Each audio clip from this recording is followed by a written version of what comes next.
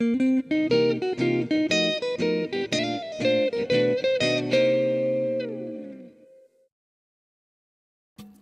皆さんこんにちは。サウンドナインチャンネルのてんちゃんです。今日はですねこのアンプのガリ取りについてやっていきたいと思います。はい。えー、っとねこういう現象こういう現象をガリって言います。これかな？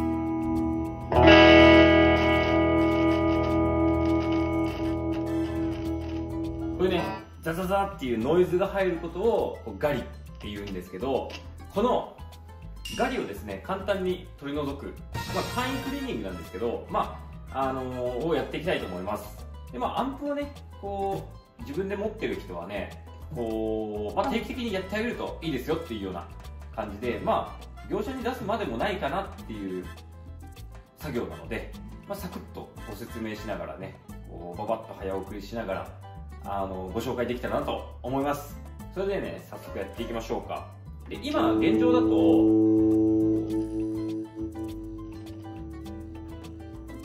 この、えーと、トレブルのところがちょっとガリが出ます。あとこのゲインボリュームに比べて、えーと、このトレブルミドルがちょっとトルクが重いですねっていう症状が今あります。結構ねそういう症状出てる人多いんじゃないですかね。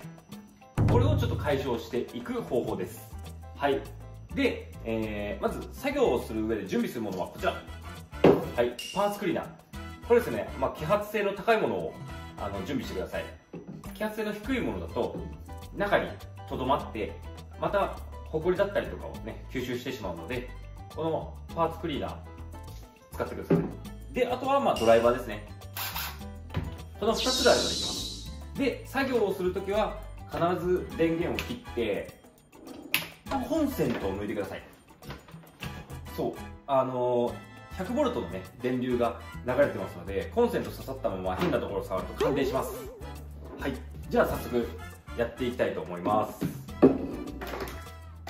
でこういうねトレーとかもあるとねネジとか置けるんで便利ですよ。でまずはこの裏蓋を外しましょう。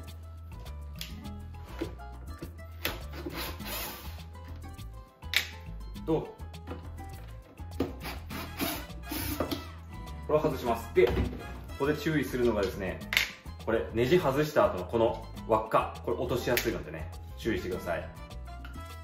でねこう長年こうやってはめ込まれてたやつなんでこれ取れないのもあります。取れないのもあるんですけど意外とこうやってネジが引っかかって取れちゃったりもするんでこれはねなくさないように気をつけてください。はい。でここスピーカーがね現れてきましたね。でこっちでスピーカーをスポット抜ければいいんですがこっちはねハンダでくっついてます。なんでちょっと上を見ていきましょうか。上はここにですね。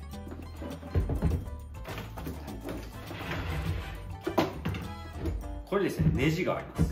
これはですね2点で止まってますね。おそらく。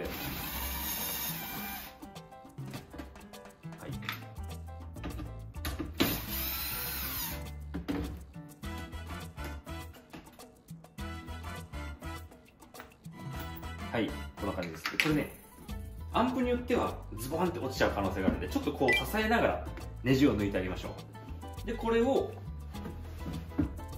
まあ、前から前からとか後ろからとか押しつつ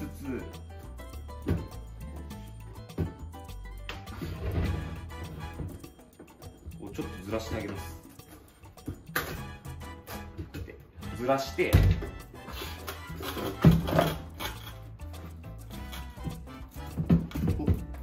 ああこれね。これねかかるんですよね。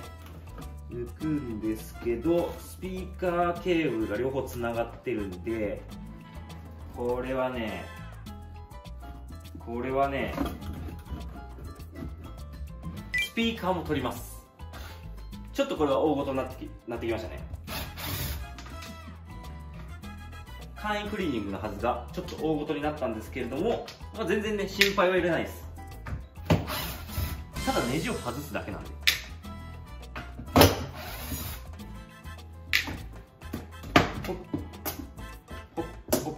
んな感じですね。ネジを外します。でこのスピーカーをですね取っていきましょうか。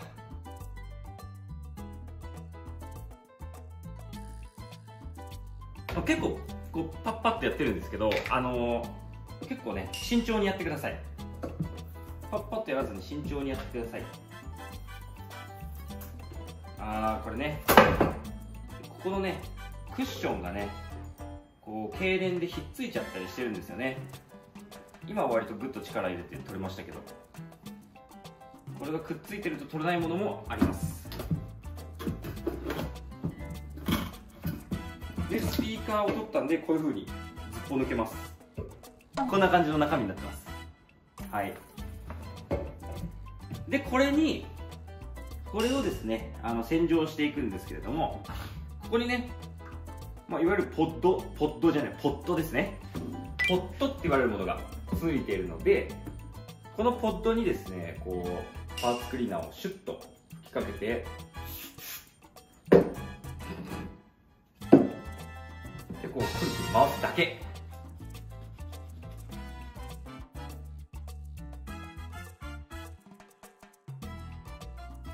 ポットって大抵こういうふうにあの穴が開いてるんでそこにシュッと吹きかけるような感じで。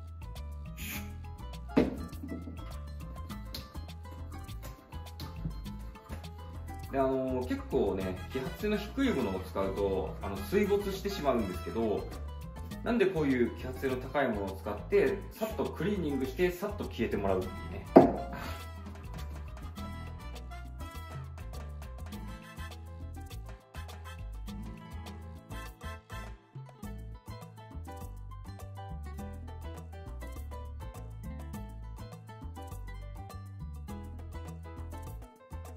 はい。でえー、っと今これで洗浄が終わりました。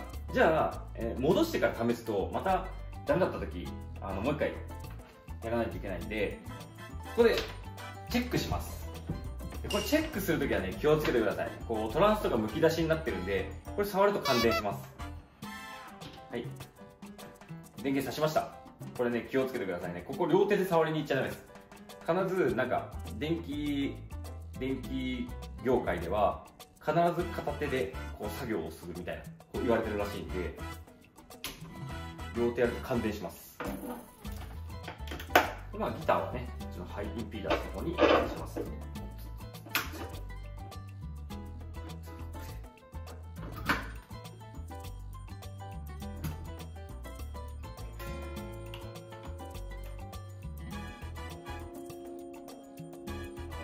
はい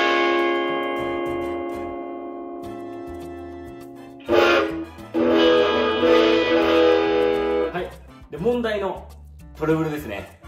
いきましょう。おお